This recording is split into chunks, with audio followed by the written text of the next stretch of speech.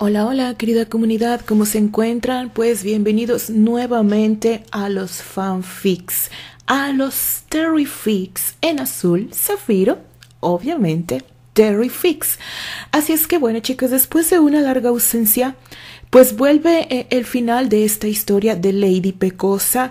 Como ya lo había dicho en reiteradas ocasiones, los tiempos de las autoras pues a veces son bastante difíciles tenemos este también y al igual que ustedes pues vida, familia, trabajo.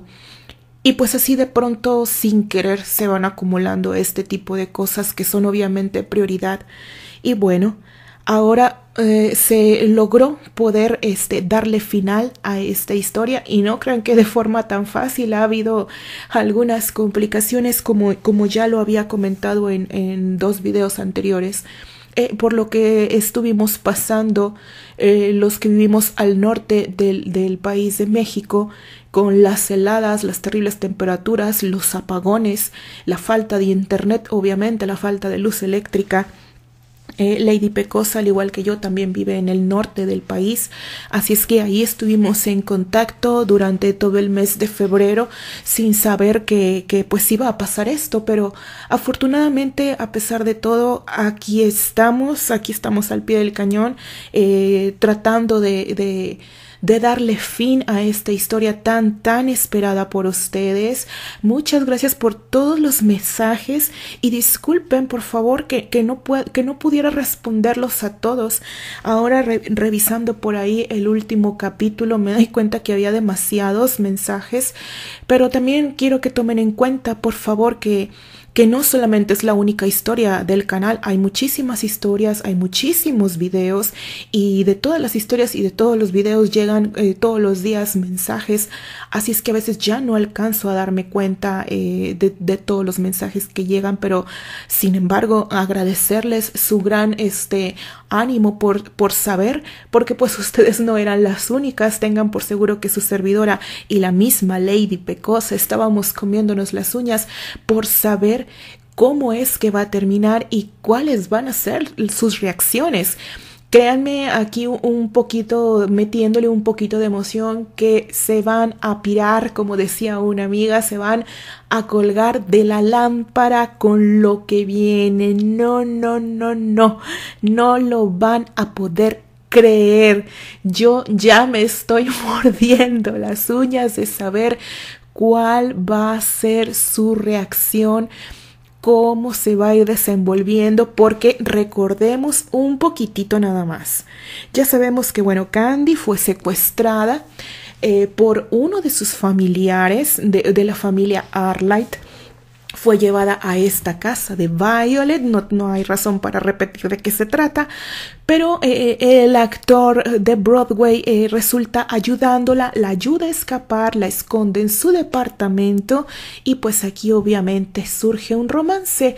El problema es que pues él está casado.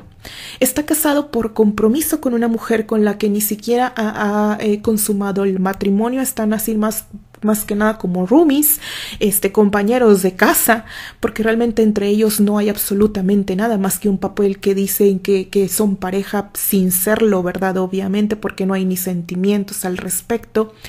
Así es que eh, eh, la esposa Susana, al ver que este chico de repente se desaparece y tarda, tarda cada vez más en aparecer y en ir a casa, ella se está tramando algo porque Violet, la dueña de la casona en Nueva York, le fue con el chisme, ¿verdad?, de que su esposito adorado se había llevado a una de las muchachonas alegres que trabajaban ahí. Claro que no le contó las cosas como son, ¿verdad? Así es que pues Susana, ni tarda ni perezosa, mandó a hacer una noticia y la publicó en todos los diarios, pagando obviamente diciendo que esperaba un bebé. Así es que complicándole con esto, obviamente, los planes de Terry de divorciarse de ella, porque ese obviamente el paso a seguir para él. Así es que Susana Nada Tonta hace esto pero eh, em, se deja envolver y se envuelve con, con su trabajador, con su chofer para, para hacer que esto resultara cierto, no solamente una simple noticia. Mientras tanto, la familia Arlight busca incansablemente a Candy, George Johnson, que es la mano derecha de Albert, ya lo sabemos, está a punto de dar con Candy después de semanas y semanas de búsqueda y sin saber nada de ella. Están este, casi ya al tanto de poder tenerla asegurada y llevarla sana y salva de regreso a Chicago con su familia. Mientras esto ocurre, la tía abuela empieza a tramar también su plan para nada más aparecer a la muchachita casarla y deshacerse de ella y ya no meterse en problemas con esta muchachita así soltera y ya le está planeando un compromiso a espaldas de Albert. Así es que, uff, Candy la tiene muy difícil porque también ya sabemos la identidad de el hombre que la mandó secuestrar y crearle el peor daño posible que es este Rudolf que también pertenece a la familia Arlight y este hombre lo hace porque eh, Candy ha sido la razón desde del infortunio, por decirlo así, del hombre del que él está enamorado, que es nada menos y nada más que Neil ligan. Hasta aquí yo dudo que Neil sepa los sentimientos de Rudolph hacia él. Sin embargo, este hombre este, está completamente dispuesto quizás a ganar su aceptación haciendo todo esto después de decirle, mira todo lo que hice por ti. Así es que en esas estábamos cuando se cortaron los capítulos de forma abrupta, pero por situaciones pues sumamente importantes, ¿verdad? Para la autora.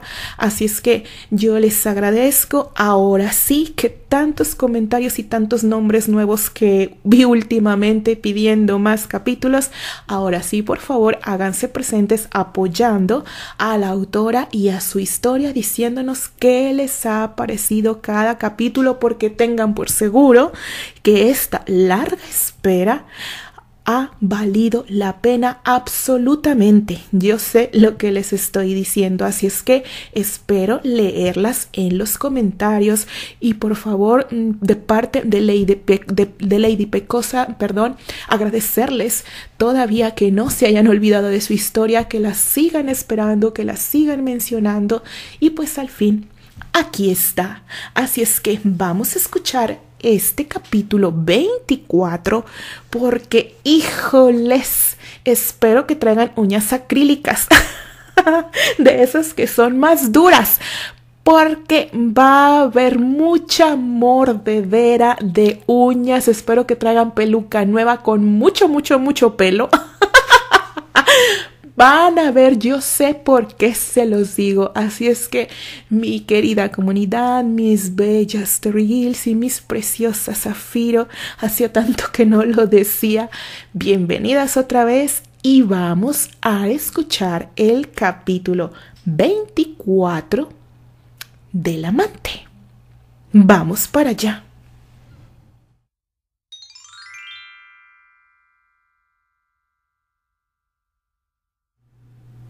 Ponte cómodo y goza de mi lectura.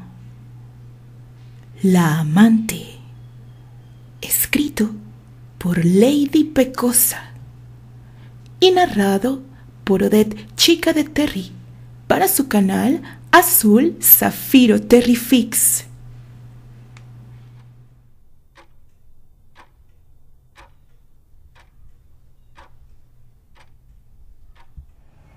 Capítulo 24 Era aún muy temprana hora de la mañana cuando George leía el diario en el restaurante del hotel a la espera de William J. Flynn, a quien había podido contactar desde la noche anterior.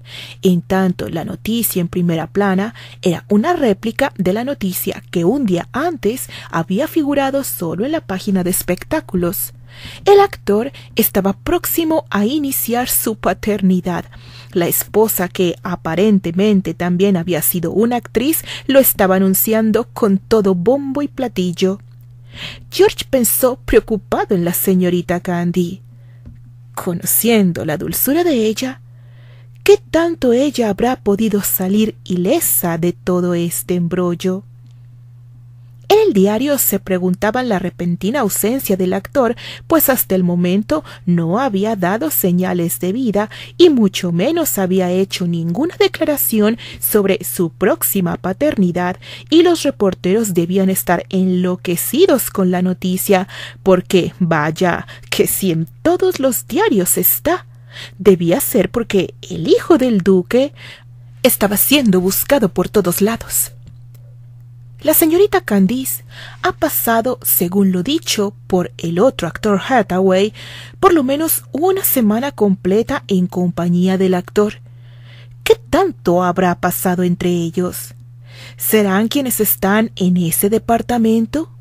Se autocuestionaba George, pensando en qué pasos dar para proteger lo, lo mejor posible a su niña. Después de todo, aun cuando el señor Hathaway haya dicho que el actor Graham estaba supuestamente protegiendo a la señorita Candice, lo cierto es que dicho actor no había informado nada a la familia. De ser así, seguro Albert lo habría avisado al momento. Sin embargo, no lo había hecho y por lo tanto, como protector o no, ese hijito de duque se había convertido en el secuestrador de su señorita Candy.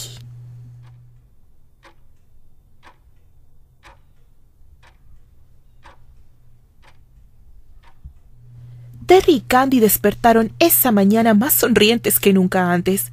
La intimidad entre ellos, no solo la sexual, sino su intimidad afectiva, había alcanzado niveles altos de unidad. Estaban completamente integrados el uno al otro, o cuando menos esa era la impresión que tenía Terry esa mañana mientras abrazaba el cuerpo de Candy en tanto ella se desperezaba. Sabía que este era su último día completo en Nueva York. Al día siguiente subirían al tren y partirían a casa de su familia. Terry pensaba que con suerte, apenas llegando, pediría la mano de su pecosa al tutor. Sin embargo, para eso debía ir a visitar a su abogado. No había podido verlo en días previos, mas tenía plena confianza en él. Estaba seguro que el proceso de anulación matrimonial estaba ya en curso. Aún abrazado de la breve cintura de su lady pecosa, suspiró pesado. Había tanto por hacer en ese día, así que su deseo de permanecer en la cama con ella todo el día no podía ser. Debían ver a Robert, entregarle su renuncia, hablar con Susana, ver a su madre, ir a la naviera, en fin, sin prolongarlo más, aunque sí entre besos, sonrisas y caricias, salió de la cama más que dispuesto a enfrentar su día.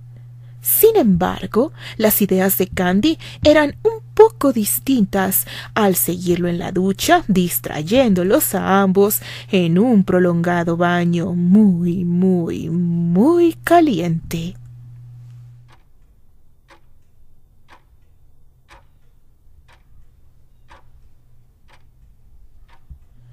Cuando William J. Flynn Llegó con George. Tenía un semblante optimista. Le informó que ya traía consigo las dos órdenes de cateo. Una era para la recién encontrada dirección del señor Graham y la segunda para la mencionada Close Mason, que de igual forma antes de salir de la oficina había desplegado un equipo élite para la temprana revisión de las casas de citas, misma que seguramente empezaría en un par de minutos. Le dijo revisando su reloj.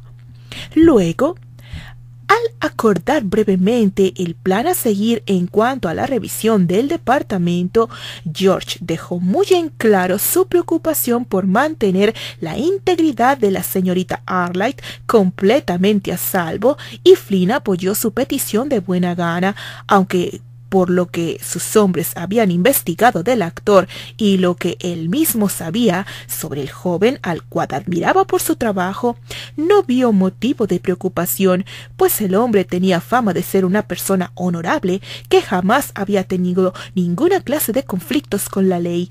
Si era verdad que el actor tenía a la chica, seguro debía tener una razón de peso para ello, algo así como el haberla protegido de los secuaces que irrumpieron días previos en el teatro.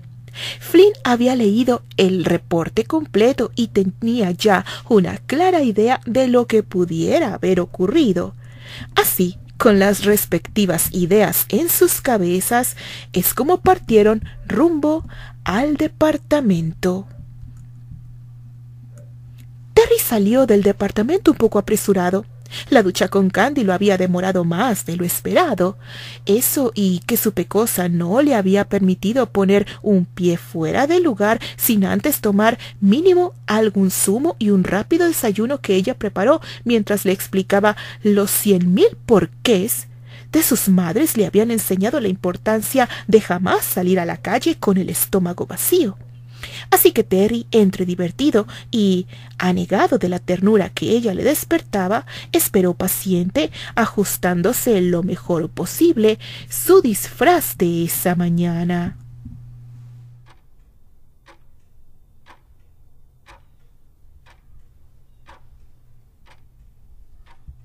Iban llegando al edificio cuando justo a la entrada Henry, el brazo derecho de Flynn, le dio alcance.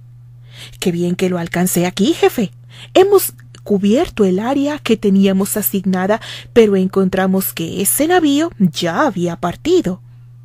George, que iba preocupado por la señorita Candy, experimentó molestia al pensar que otro asunto podría distraer la atención del director del FBI y no evitó preguntar molesto ¿A qué se está refiriendo el muchacho?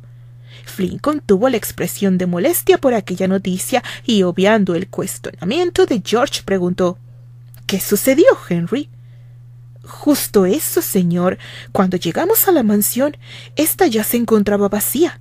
Al principio pensamos que se estaba negando a abrirnos la puerta por la buena y nos vimos empujados a forzar la cerradura para encontrar que excepto por los muebles, el sitio estaba completamente vacío. Se podía decir que abandonaron la casa apenas la noche anterior.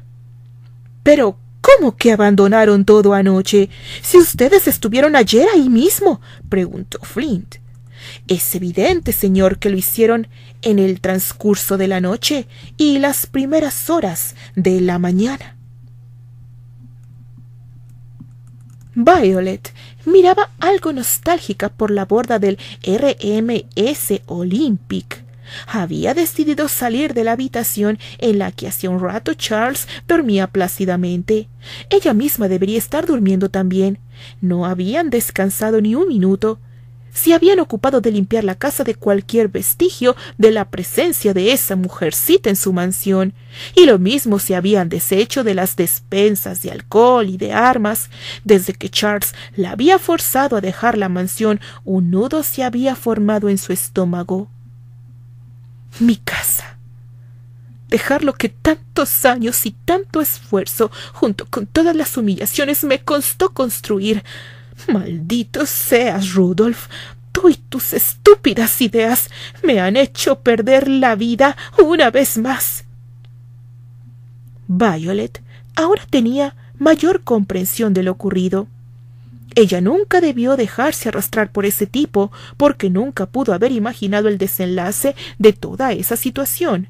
Sus muchachas, al ir siendo despedidas, la miraban con incertidumbre.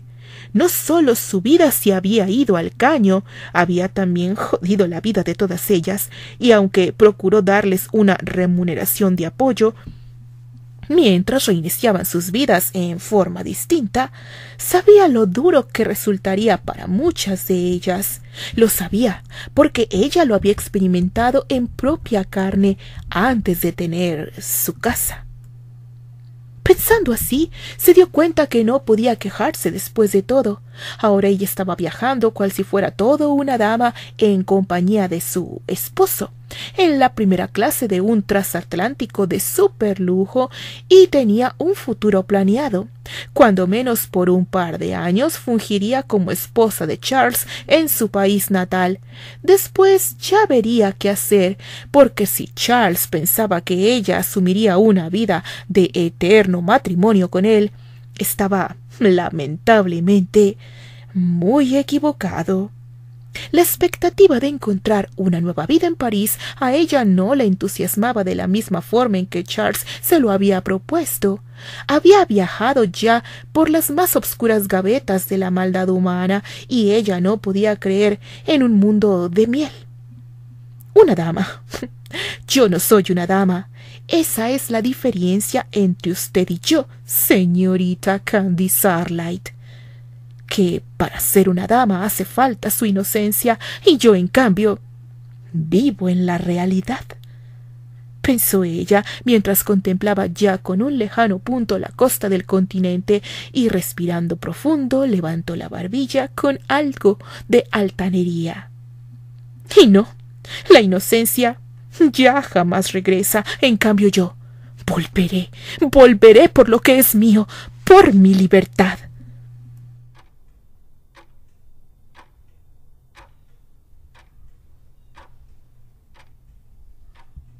Esa mañana salió temprano rumbo a la central del ferrocarril. Le urgía más que nunca volver a Chicago. Quería visitarlo, Ansiaba como nunca verlo. ¿Qué más da si debía pisar una prisión para poder pasar un momento a su lado? Por él haría lo que fuera, por él estaba dispuesto a morir, porque nunca había amado a nadie con la misma intensidad, y ya no soportaba un día más lejos de él, menos ahora que llevaba consigo al abogado que lo salvaría de tan vergonzosa situación. Neil sería libre más pronto de lo que nadie pudiera imaginar y sería suyo y estarían juntos ya por siempre. Así que no le importó crear un verdadero escándalo ante la gerencia, haciendo uso de su nombre, de su dinero y poder para conseguir un lugar en la primera clase de la siguiente corrida con rumbo hacia su amor. Solo unas cuantas horas para dejar esta miserable ciudad y otras pocas más para encontrarme contigo, Neil pensaba Rudolf, mientras tomaba asiento en un pub cercano. Tomaría junto con el abogado un almuerzo antes de partir a Chicago. A Candy le pareció que apenas se había cerrado la puerta del departamento cuando escuchó que llamaba nuevamente. Había preparado el desayuno de Terry aún con la bata de baño puesta y apenas estaba terminando de vestirse, por lo que titubeó un momento antes de dirigirse a la puerta con un bonito y cálido vestido de una pieza, aunque ya se había calzado las medias de lana, aún no se había puesto las botas y llevaba el cabello suelto. ¿Olvidaste algo, Terry? dijo sonriente abriendo la puerta de par en par. Ella permaneció pasmada por unas décimas de segundo para enseguida reaccionar, dando con la puerta en las narices de los hombres que no alcanzaron a dar un paso antes de encontrarse de nuevo con la puerta cerrada, mientras escuchaban los cerrojos activarse por dentro. Señorita Arlight, señorita Arlight, somos el FBI. Abra la puerta. Pero Candy ya había corrido a refugiarse en la oficina de Terry. Pero qué estúpida, Candy. De verdad olvidas con demasiada facilidad esta situación. pensaba temblando de miedo bajo el escritorio. Por Dios. ¿Y si ya han capturado a Terry? Él apenas había salido. Dios mío. ¿Y si Terry está en peligro? Angustiada, salió de su escondite y de la oficina. A lo lejos escuchaba las voces que la llamaban. Señorita Arlight, abra la puerta, por favor. Somos el FBI. Señorita Arlight. Candy, señorita Candy. la llamaba George. Candy no sabía qué hacer. Saltar por la ventana no era la mejor opción, considerando que estaban en un último piso. Aunque si bien ya lo había hecho, lo mejor será estar con completamente vestida esta vez. Pensó corriendo a la recámara. Entró buscando sus botas, entonces lo registró y paró en seco. ¿Es George? Dios, mi mente me está traicionando. Ella regresó por sus pasos. Señorita Arlight, abra la puerta o tendremos que derribarla. Alguien golpeó con fuerza. Basta, la atemorizará. se escuchó otra voz, la de Flynn más tranquila. Entonces la voz anterior regresó en un intento de serenidad. Señorita Candy, soy George Johnson. Abra, Candy, ya está segura. Oh, sí. Era George, la voz que había alcanzado a reconocer. Candy caminó despacio hacia la puerta. Sabía que descalza no podía hacer ruido. Señorita Candy Sarlight, soy William J. Flynn, director del FBI. Señorita, puede abrir la puerta, ya se encuentra a salvo. La tranquila voz del hombre surtió efecto en ella, que se acercó aún cautelosa a la entrada. Señorita Arlight, vengo en nombre del señor William Arlight. Ya puede estar tranquila. La llevaremos con su familia. Candy ya no dudó más, aunque esa última frase dicha por el director del FBI por algún motivo le estremeció. Señorita Candy, soy George. Abra. Por fin la voz de George se había notado tranquila. Flynn sonrió un poco al escuchar los cerrojos correrse y perdió un poco el aliento cuando un hermoso rostro rodeado de una brillante melena lo recibió. Suponía por las fotografías que ella era linda, mas no imaginó que fuese una mujer tan hermosa. Señorita Arlight, soy William J. Flynn, director del FBI. ¿Se encuentra usted bien? le preguntó más en una afirmación. Candy asintió en una, en una tenue afirmación. Sí, estoy bien. Flynn le sonrió. No era sorpresa que alguien hubiera querido robarse a esa chica. Él mismo lo haría, de no estar felizmente casado, aunque de igual forma un sentimiento de empatía por la chica lo invadió. No se había traspasado la puerta con el afán de brindar mayor confianza en la chica. Después de todo, había pasado por un secuestro. Sin embargo, un empujón lo movió. Señorita Candy, ¿Realmente es usted? ¿Se encuentra bien? La voz de George irrumpiendo en la entrada se escuchó afectada por la emoción. Verla sana y salva le derribó los miedos y prejuicios y se dirigió a ella con los brazos abiertos. Candy, quien dio un paso atrás por el sobresalto del movimiento, más apenas reconocerlo, le sonrió. George. Un par de lágrimas escaparon de sus ojos. George era casi como un padre para ella, era parte de su familia, y volverlo a ver la llenó de una cálida emoción. Señorita Candy, la encontramos por fin, dijo George, que en su impulso por abrazarla dio un paso más. ¡Ah! Candy pegó un grito que hizo desenfundar las armas a los oficiales. ¡Ah, George! me pisaste. Candy se refugió en el sillón de la entrada, sujetándose con dolor su piecillo. Santo Dios. casi me has molido los dedos. dijo en un lamento, casi llorando.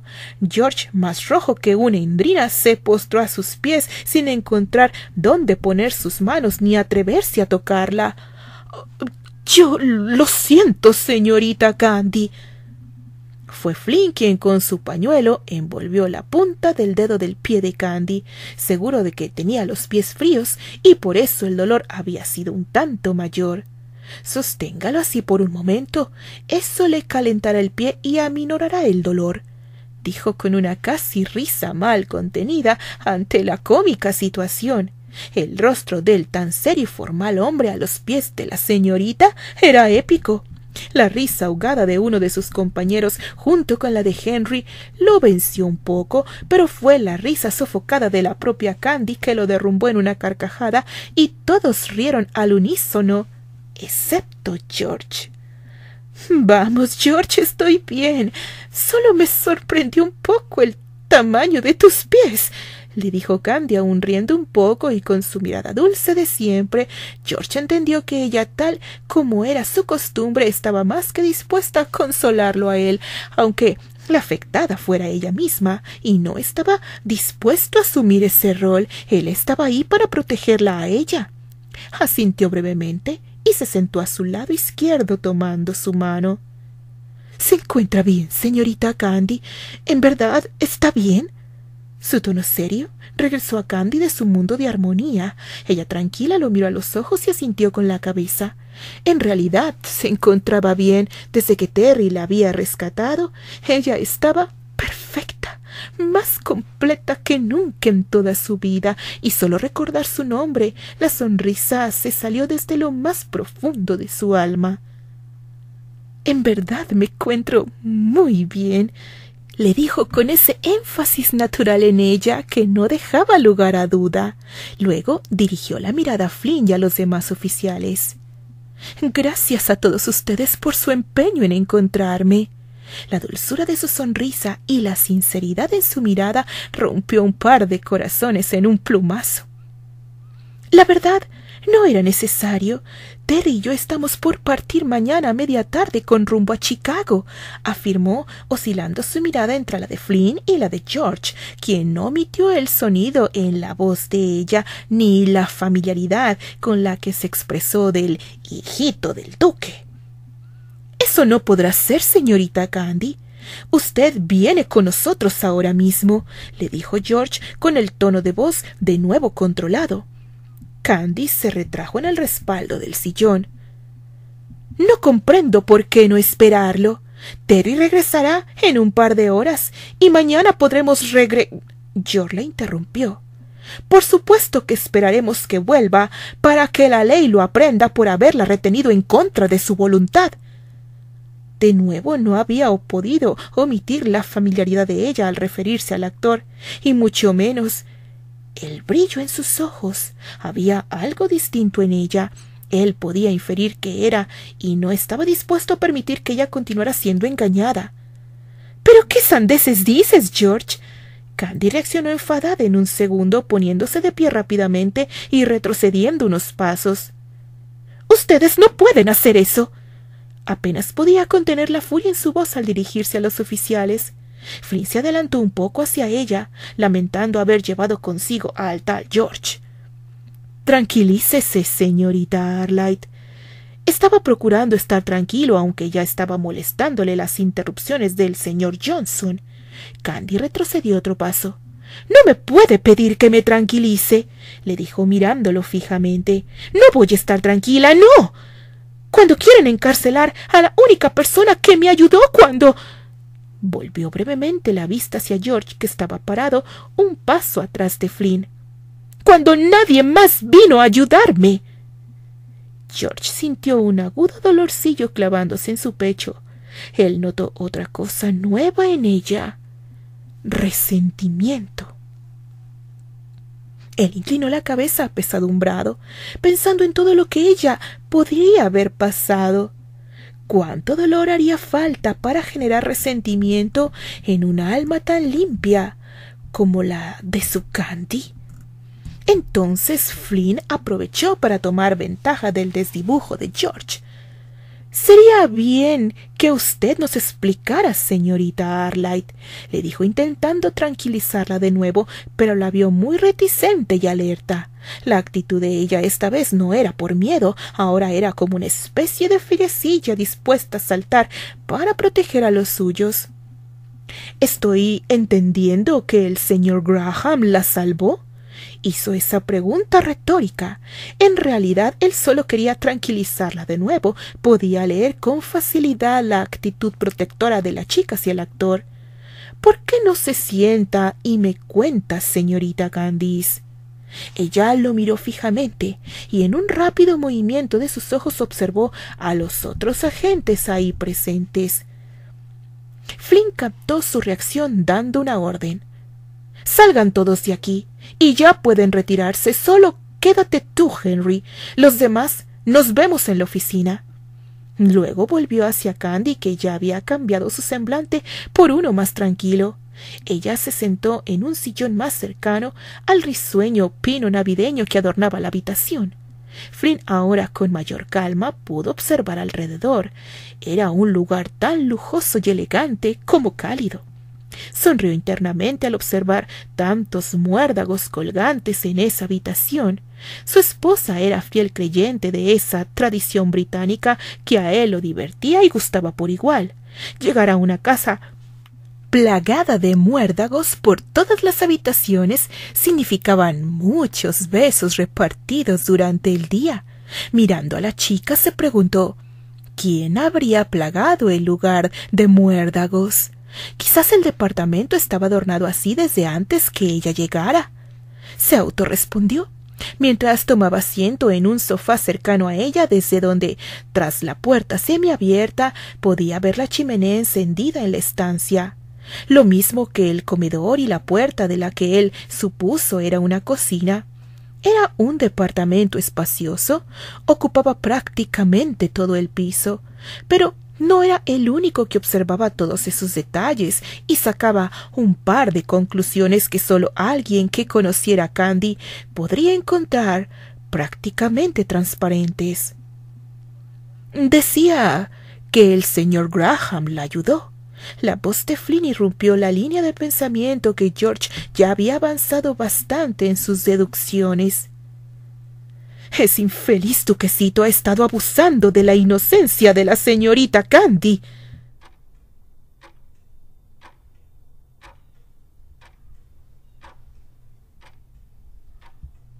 Terry había tomado su auto. Apenas salió del departamento, se planteó no hacerlo. Sin embargo, pensando en todas las actividades que quería realizar, decidió que su auto le facilitaría mejor los traslados. Iba saliendo del estacionamiento cuando un grupo de autos negros le cerraron el camino. Aunque fuera solo por un momento, enseguida la mayoría buscaba un lugar en donde situarse mientras él salía al tráfico común de Nueva York.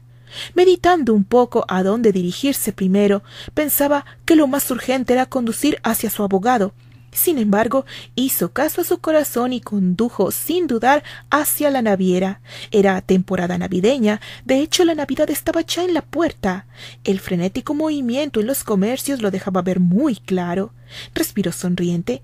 Tendría que hacer una parada en algún sitio para comprar un obsequio a la pecosa. Sin embargo, primero lo primero. Compraré los pasajes a Londres. Será difícil encontrar pasaje antes de Navidad. Sin embargo, definitivamente quiero que iniciemos el año en mi país. Y sin perder el ánimo, estacionó su auto dirigiéndose a la taquilla. Buen día. Quiero viajar a Inglaterra. Dos pasajes en primera clase, por favor. El encargado de la taquilla lo contempló por un momento. El hombre de barba oscura, como sus cabellos le resultó un poco conocido, si bien llevaba sombrero y anteojos, algo le dio la sensación de haber visto antes al elegante tipo que estaba en su ventanilla, pero luego de espabilarse. Por supuesto, señor. En primera clase tengo salidas a Inglaterra en el HMHS Britannic, el Mauritania de la compañía Conrad Line y el SS Imperator recién adquirido por la misma compañía británica. Terry asintió. ¿De cuál tiene fechas más próximas? Bueno, el Britannic está ocupado hasta principios de año, especialmente en primera clase.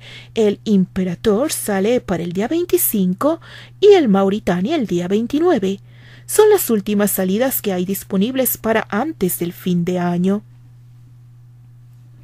Terry meditó un poco. Irse el día de la Navidad sería muy bueno. Sin embargo, la idea de viajar en un buque originalmente alemán no le hizo mucho gusto, aunque entendía que la compañía que lo recibió en pago lo había remodelado y bien sabía que era un barco seguro. El Mauritania era uno de los barcos más confiables y veloces. Ya hace años que ningún otro le había podido quitar la banda azul. Sin embargo, era un barco, aunque lujoso, un tanto más pequeño. Ojalá hubiera alcanzado espacio en el Britannic, suspiró indeciso. Bien, viajaremos en el Mauritania. Claro que sí, señor. Sus nombres, por favor. ¿Quiénes viajarán? Terry sonrió con calidez. Yo, Lord Terence G. Granchester, y mi esposa Lady Candice Granchester, por favor. Claro que sí, Lord. Le daré la mejor de las habitaciones disponible. ¿Viajarán con servidumbre? Terry parpadeó un momento desconcertado. ¿Cómo? ¿Con empleados? dice. No, viajaremos solo mi esposa y yo. Terry sonrió ampliamente al referirse a Candy como su esposa. Vaya, era tan grato pensar de esa manera.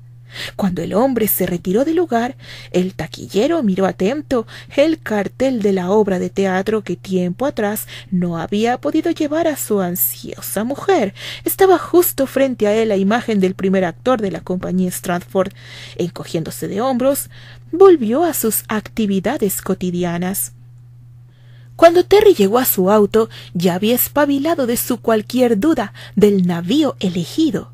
Ahora sonría ilusionado pensando en su viaje con Candy. Quizás aún no era su esposa, pero definitivamente su prometida ya era, y apenas llegaran a Londres se haría cargo de efectuar la legalización de ese matrimonio, y con esa idea en mente se dirigió entusiasta al despacho de su abogado.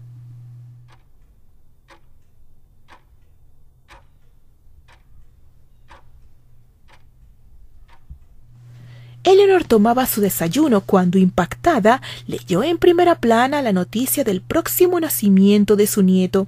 No supo si fue alegría o frustración el sentimiento que le embargó, dejando en ello una especie de sabor agridulce que le impidió continuar con su desayuno. Terry. ¿Qué es lo que has estado haciendo, hijo?